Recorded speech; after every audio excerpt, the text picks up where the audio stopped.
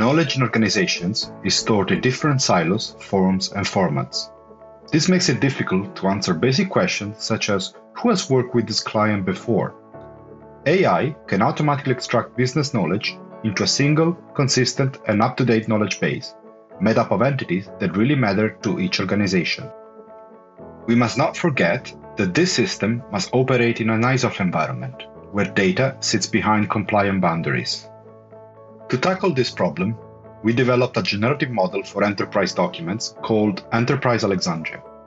In this model, we assume that entities are stored in a knowledge base with a certain schema that might include a name, a type, and members.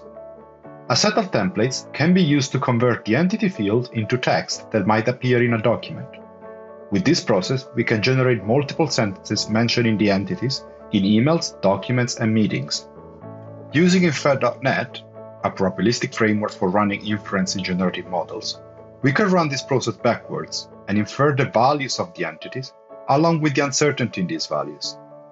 As more documents are observed, we can gradually construct the entire knowledge base for the organization. Our new model, Enterprise Alexandria, is built upon the core probabilistic program of Alexandria, a system designed for web knowledge extraction. Alexandria provides a rich framework for modeling property types such as names, dates, and sets. Some important extensions to Alexandria have been made to allow Enterprise Alexandria to work effectively in enterprise settings. There are four key extensions in Enterprise Alexandria. First, structured templates have been added to represent the links between document metadata and entity properties in a latent space.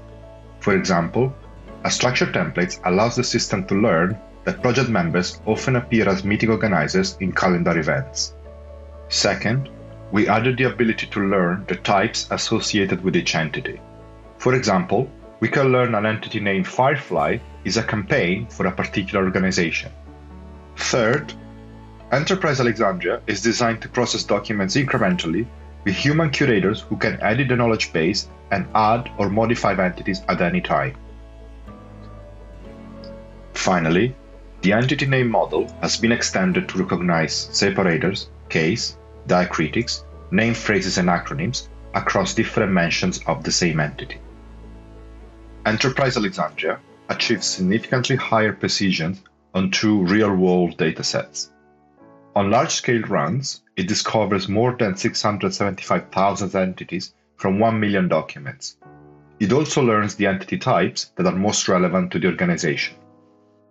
This work is now part of Microsoft Viva Topics and it is currently servicing thousands of organizations and users in the world. Thank you for your attention, and please come to see our poster.